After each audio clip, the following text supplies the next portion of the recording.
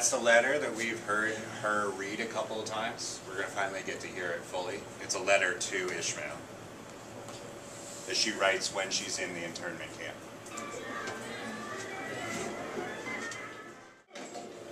So what is he admitting to there, to his lawyer? Yeah, he thought about it, right? Why? Because this guy, yeah, hasn't given up the land. But does anyone notice how people keep on talking about it's hard to read the expressions of the Japanese people? Do you guys think that is an a objective comment or it's a racist comment? Yeah, it's definitely also. What's another word we might use for that? Stereo, stereotype, right? Because of course Japanese people have emotions and they show emotions in their face. But that being said, there are some cultural differences too, right? About how much, like you could say that that Latin cultures in general are more expressive of emotions, right? Than maybe like really uptight Anglo cultures are, right? Um, so there are some cultural differences about how we show emotion, but of course Japanese people show emotion as well, right? You know better than that, Mr. Hooks. But that's part of the answer seven too, Something or sit down the stereotyping. He's taking the trial from the specifics, right, of, of Kazu and this specific crime, and he's saying, what's your duty as a citizen of the United States? So he's trying to make it a us versus them, them being all Japanese. As an American. The prosecutor in To Kill a Mockingbird did a similar thing, right? He talked about the responsibility of the jurors, as white jurors.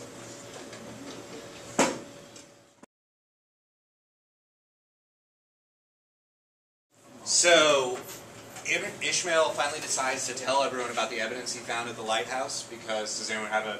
I mean, we just saw that section. Does anyone have an answer? See, That's great. Yeah, he didn't want Hatsu to suffer, right? Um, the other thing is he went back to the cedar tree, right? Which uh, one of the questions later on is about the symbolism of the cedar tree. But it's a safe place, right? That the kids grew up together in, and it's an isolated space where they don't have to worry about. Uh, sorry. Worry. They don't have to worry about the pressures of the outside world. Um, so that's what the cedar tree represents, right? This safe place that they can be their own people. So once he goes back into there, he's able to escape from the anger that he has about losing his arm, about not getting the woman that he loved, and about his father dying and the pressure of living up to that.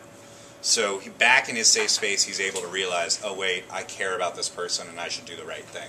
So that's the answer to number three, is that he, he decides that he loves her still and wants to treat her right.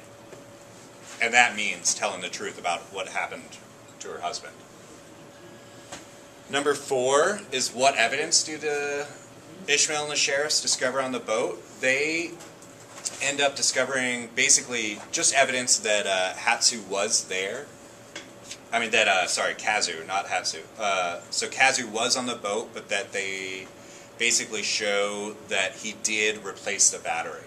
They find like a spool of his clothing, and then also the cup, that second coffee cup from the very beginning that was rolling on the floor.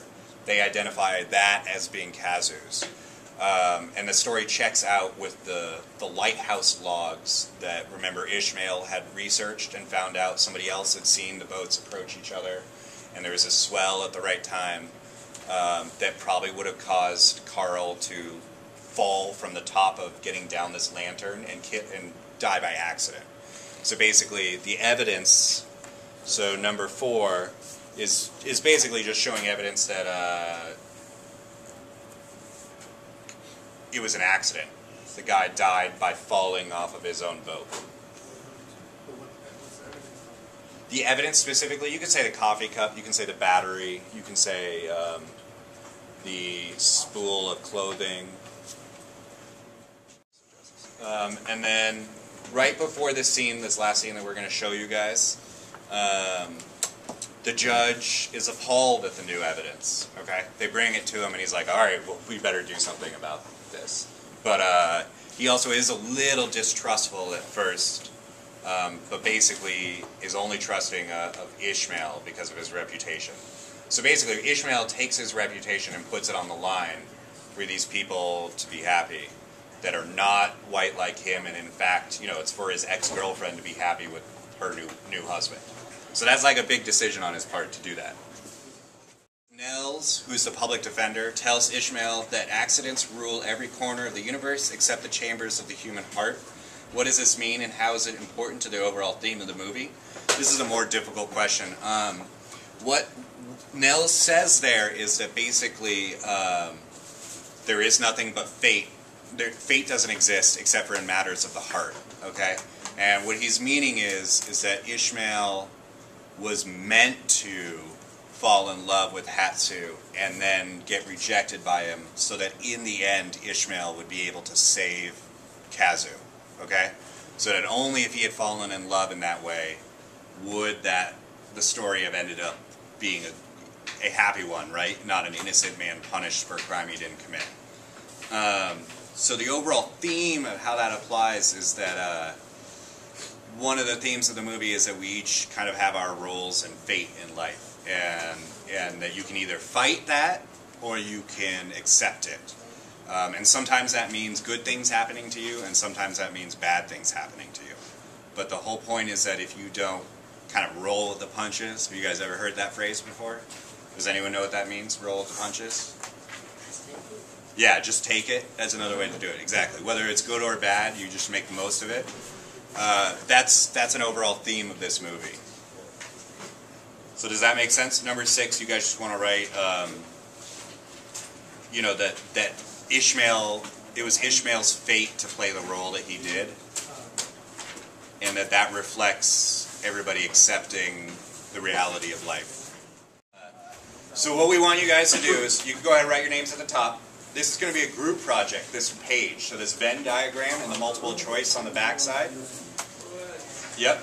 Group. Well, you don't have to work together. I don't care. You can work on your own. It's easier for you, though. I would figure. So the Venn diagram, the two circles, you're going to, on the left side, go ahead and write at the top, To Kill a Mockingbird. Everybody write To Kill a Mockingbird. Doesn't matter what side it's on. What? It's okay, yeah. And then on the right side, go ahead and write Snow Falling on Cedars. Snow Falling on Cedars. The name of this movie we just watched. So what we want you guys to do is just go ahead and um, fill in as much as you can. You know a Venn diagram. On the one side, put characteristics that are only true of To Kill a Mockingbird, and on the far right side, only true of Snow Falling on Cedars, and then compare, you know, things that are the same, put in the middle. Exactly. Think about, yeah. So yeah, Snow Falling on Cedars is about Japanese people. It was also about it was on the West Coast, right? To Kill a Mockingbird was about the South and about yeah, black versus white, versus white.